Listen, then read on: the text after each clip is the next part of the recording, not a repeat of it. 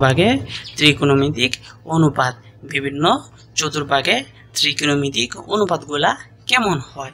এই এই জিনিসটা করতে গেলে আমাদের আরও কিছু সূত্র জানা অবশ্য অবশ্যই দরকার। সেই সূত্রগুলা কি?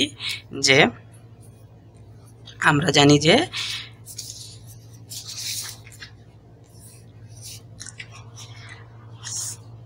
sine square theta plus cos square theta equal one হ্যাঁ এটা দিয়ে আমরা আরও দুইটা সূত্র লিখতে পারব। Sine square theta plus cos square theta equal one আবার লিখতে পারব সাইন স্কোয়ার থিটা সমান সমান one minus cos square theta আরেকটা লিখতে পারব আমরা কস স্কোয়ার থিটা সমান সমান one minus sine square theta so একটা দিয়ে আমরা তিনটা সূত্র লিখতে পারি। এখন আমরা আরেকটা সূত্র দেখি যে sec square theta minus tan square theta equal one so এইটা দিয়েও আমরা আরও দুইটা সূত্র লিখতে পারব। সূত্রগুলো কি কি?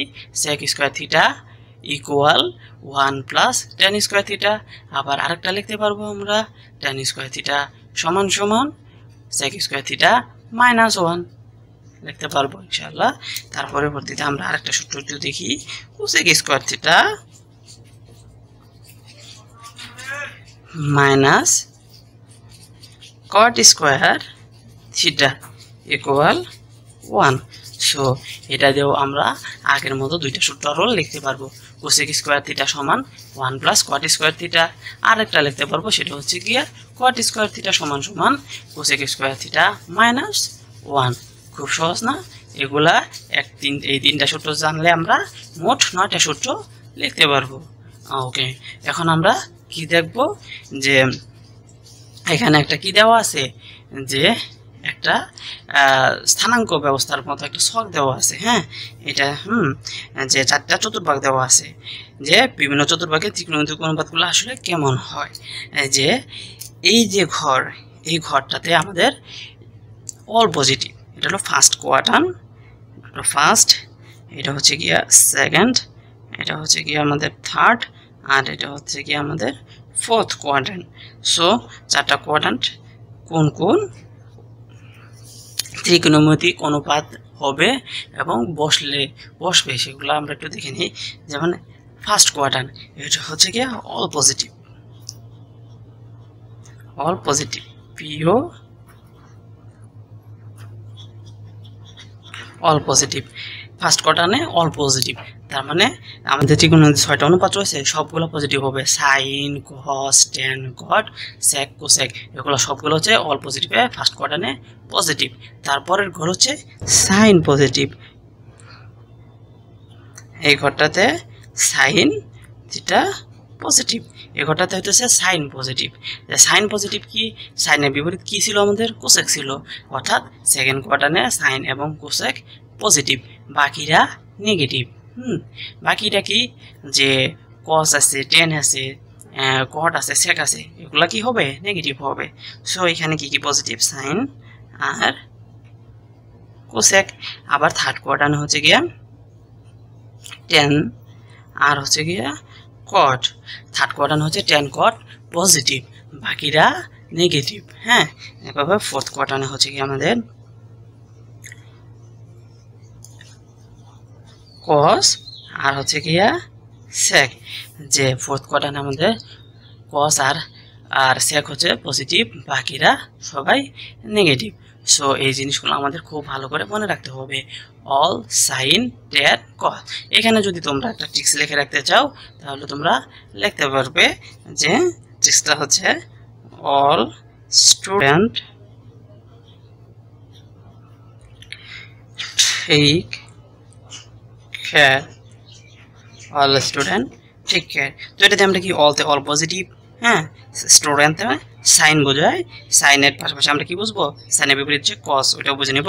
তারপরে টেক মানে ট্রেন আর কেয়ার মানে কস হ্যাঁ তাহলে এটা আমাদের মনে রাখার ছন্দটা হচ্ছে all student take care so এখন আমরা যে জিনিসটি নিয়ে আলোচনা করব হলো, সেটা হলো সীমাবদ্ধতা। আমরা যে অনুপাতগুলো পড়লাম, ত্রিকোণমিতিক অনুপাত হ্যাঁ ছয়টা অনুপাত, ছয়টা অনুপাতের কী রয়েছে? কিছু সীমাবদ্ধ বা সীমাবদ্ধতা বা লিমিট রয়েছে। সেই লিমিটগুলা কি? আমরা জানি সাইন থিটার ক্ষেত্রে কি? মাইনাস ওয়ান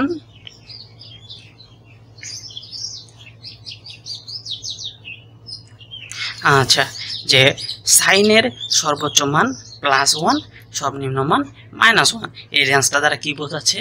সাইনের মান মাইনাস ওয়ানের সমান বা মাইনাস ওয়ান থেকে বড় প্লাস ওয়ানের সমান বা প্লাস ওয়ান থেকে ছোটো। এটার মতো ঠিক হচ্ছে গিয়ে কস থিটাটা যে মাইনাস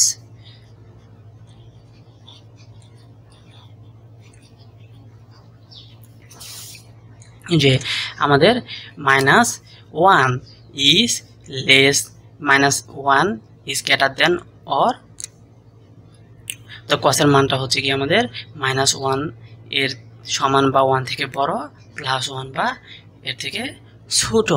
এটা হচ্ছে আমাদের কস আর সাইনের মান। অর্থাৎ সাইন আর কসের সর্বোচ্চ মান প্লাস ওয়ান সর্বনিম্ন মান মাইনাস ওয়ান এটা যদি আমরা একটু গ্রাফ আকারে লিখি, তাহলে আমাদের গ্রাফটা কেমন হয়?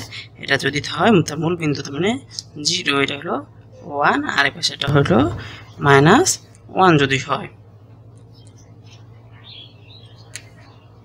সো এটা আমরা একটু দেখি যে সাইন আর কসের মান হচ্ছে গিয়া এইটুকের মধ্যে সীমাবদ্ধ যে প্লাস ওয়ান আর মাইনাস ওয়ান তো এখান থেকে আমরা একটা জিনিস লিখতে পারি যে আমরা জানি যে সাইনের বিপরীত হচ্ছে গিয়া সাইনের বিপরীত হচ্ছে গিয়া কুসেক হ্যাঁ যে কুসেক হ্যাঁ সাইন থিটা কুসেক থিটা না?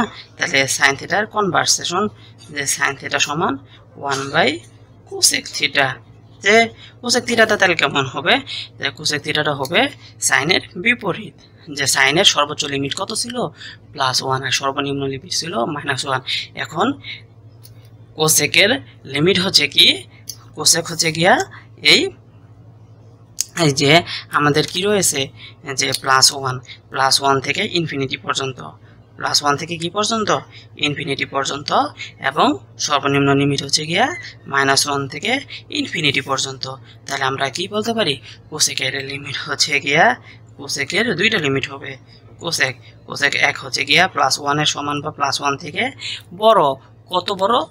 অসীম পর্যন্ত বড়। Plus one to plus one to infinity আবার হইতে পারে কোসেক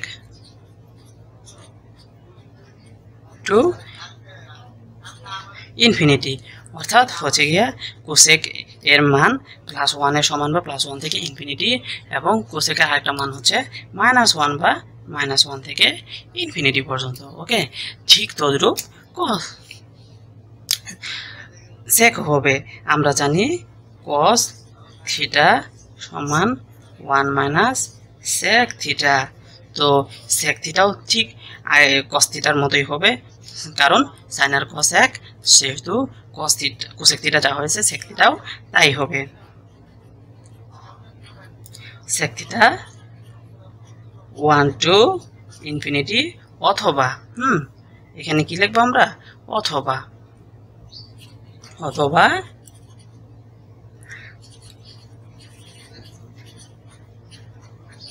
টু ইনফিনিটি ওকে তাহলে এটা হলো আমাদের সীমাবদ্ধতা। তাই আমাদের বাকি রইল কি? বাকি রইল দুটা জিনিস। একটা ক টেন আর একটা হচ্ছে কট টেন এবং কটের কোনো নির্দিষ্ট সীমাবদ্ধতা নেই। টেন এবং কটের কি নেই? নির্দিষ্ট সীমাবদ্ধ সীমাবদ্ধতা নেই। অর্থাৎ আমরা যে এখন যে সীমাবদ্ধতাগুলো দেখলাম sine theta cos theta tan theta cot theta sec এবং কোসেক থিটা দেখলাম। এই জিনিসগুলা, এই ত্রিকোণমিতিক অনুপাতগুলোর কি নেই? নির্দিষ্ট কোনো একক নেই।